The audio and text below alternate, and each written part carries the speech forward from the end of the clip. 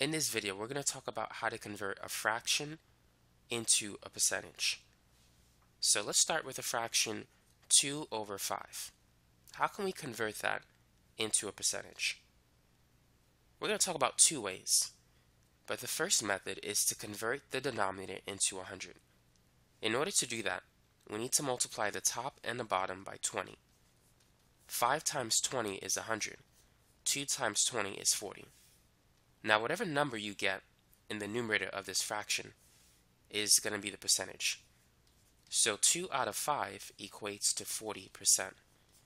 And that's one simple technique that you can use to convert a fraction into a percentage is if this number can easily be converted to 100. Sometimes it can't. But let's work on some more examples. Convert these two fractions into a percentage.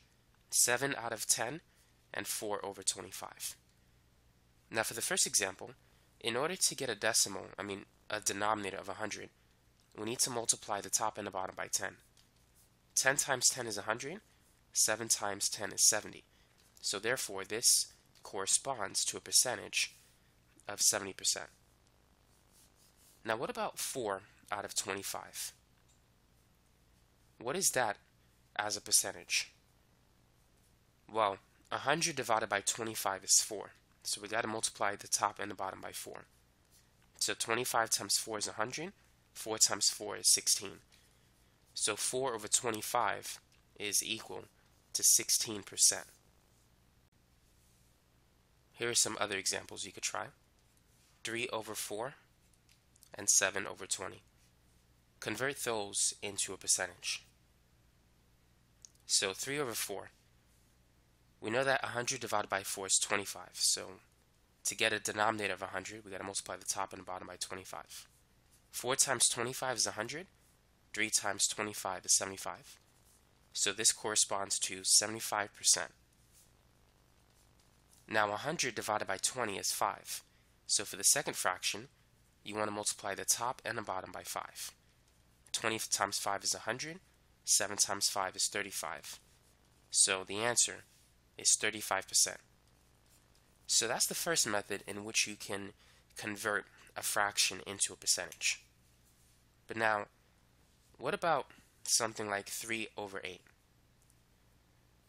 8 doesn't go into 100 nicely, so we're going to use a different method. We're going to convert the fraction into a decimal and then convert the decimal into a percent. One way to convert a fraction into a decimal is to use long division. So 8 doesn't go into 3 nicely. So what we need to do is add a 0. 8 goes into 30 three times. 8 times 3 is 24. We're going to treat 3.0 as if it's 30. It's really supposed to be 2.4. Now 30 minus 24 is 6. So we're going to add a 0. Now how many times does 8 go into 60? 8 times 7 is 56, but 8 times 8 is 64, which exceeds 60. So 8 goes into 67 times, and it's going to be 56. 60 minus 56 is 4, and let's add another 0. Now 8 goes into 40 nicely. It goes into it 5 times. So now we no longer have a remainder. So 3 over 8 is basically 0.375 as a decimal. Now how can we convert this decimal value to a percentage? In order to do that, multiply by 100. 0.375 times 100, all you got to do is move the decimal point two units to the right. That's 37.5%. So that's the second way in which you can convert a fraction into a percentage. Use long division to convert it to a decimal, and then multiply the decimal by 100, and then you'll have the percentage. Now let's try another example. Let's convert 4 over 7 into a percentage.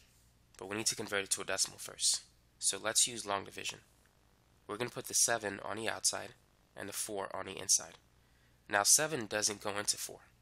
So we need to add a 0. Now how many times does 7 go into 40? 7 goes into 45 times. 7 times 5 is 35. And 40 minus 35 is 5. Now we need to add another 0. How many times does 7 go into 50?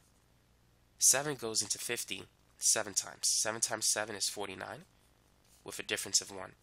And then we can add another 0. 7 goes into 10 one time.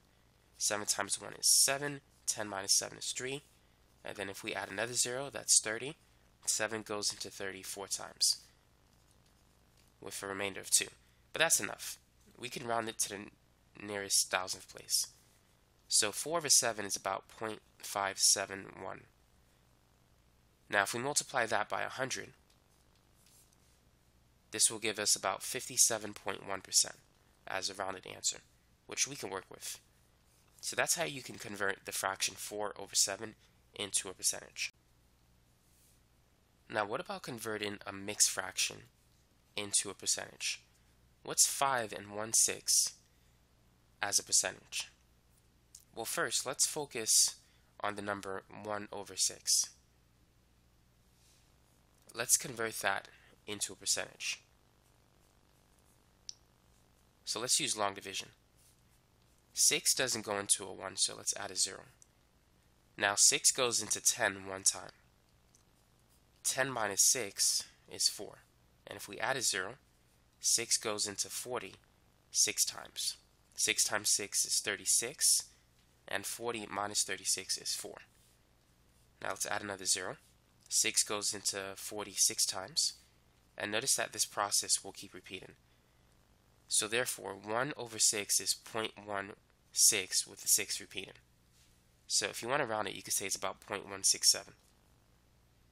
Now, we need to convert 0.167 into, well actually we're not going to convert it into a, a percentage yet.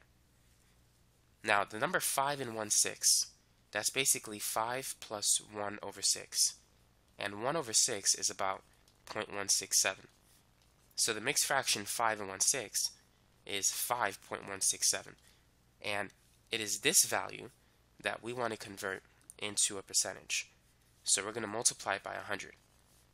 So therefore, this fraction is equal to 516.7%. Or if you want the exact answer, it's 516.666 repeated. Or you could just round it like this. So that's how you can convert a mixed fraction into a percentage. Now I want to show you one of my algebra courses that might be useful to you if you ever need it. So go to udemy.com.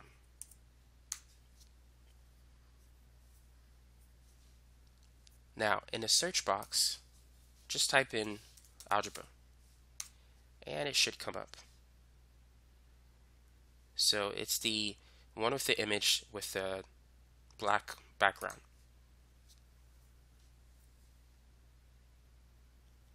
So if you select that option, and if you decide to go to course content, you can see what's in uh, this particular course. So the first section, basic arithmetic, for those of you who want to focus on addition, subtraction, multiplication, and division. And it has a, a video quiz at the end. It's a multiple choice video quiz. You can pause it, work on the problems, and see the solutions. It covers long division, multiplying two large numbers, and things like that. The next tutorial is on fractions. Adding, subtracting fractions, multiplying, dividing fractions, converting fractions into decimals, and so forth. So you can also take a look at that. Next, solve the linear equations, which we covered, and just more examples if you need more help with that. The next topic, order of operations, which is also useful. Uh, graphing linear equations, you need to know how to calculate the slope. You need to be familiar with the slope-intercept form, standard form, and just how to tell if lines are parallel, perpendicular, and so forth. And there's a quiz that uh, goes with that as well. The next topic is on inequalities and absolute value expressions, which are also uh, seen in a typical algebra course. And then we have polynomials, and that's a, a long section. And then factoring, you just that's another topic you need to master. And then system of equations. You can solve it by elimination, substitution. There's also word problems as well. Sometimes you got to solve equations with three variables, x, y, and z. So that could be helpful. Next, quadratic equations, how to use the quadratic formula, how to graph them, how to convert between standard and vertex form. And then you have rational expressions and radical expressions, solving radical equations, simplifying it, things like that. And every section has a quiz, so you can always review what you've learned if you have a test the next day. So here we have complex imaginary numbers. You need to know how to simplify those. Exponential, functions, logs. I have a lot of videos on logs. And then this is just functions in general. Vertical line tests, horizontal line tests, how to tell if a function is even or odd. And then conic sections, graphing circles, hyperbolas, ellipses, parabolas, and things like that. There's two video quizzes because it's actually a long section. And finally, arithmetic and geometric sequences and series. So that's my algebra course if you want to take a look at it and uh, let me know what you think.